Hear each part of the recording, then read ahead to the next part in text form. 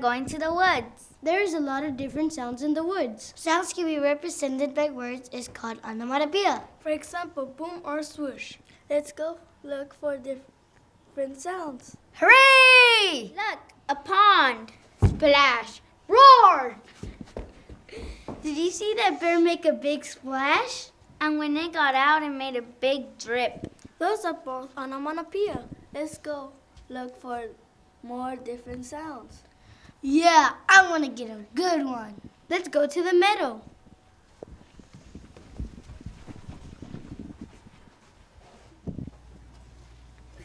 Let's look for more onomatopoeia. Tweet, tweet, tweet, tweet. Did you hear those birds tweet? Yeah, those are both onomatopoeia. Tweet. Bee, a bee.